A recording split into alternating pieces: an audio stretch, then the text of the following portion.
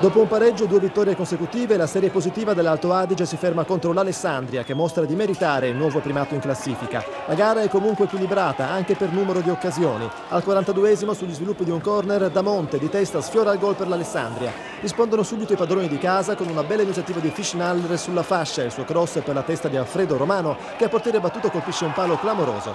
Passiamo alla ripresa, nell'Alto Adige Martin si sgancia in attacco e va al tiro, alto di poco.